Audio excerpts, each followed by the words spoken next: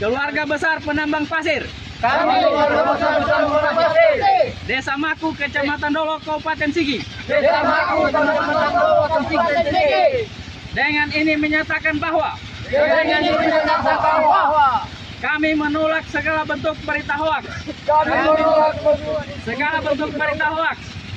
Dan ujaran kebencian. Dan ujaran kebencian. Dan mendukung Polri. Dan mendukung Polri untuk memberantas untuk memberantas pembuat dan penyebar berita hoaks. pembuat dan penyebar berita hoax. NKRI harga mati, NKRI harga mati, NKRI selalu di hati. NKRI selalu di hati. Yes, Yes, yes, yes.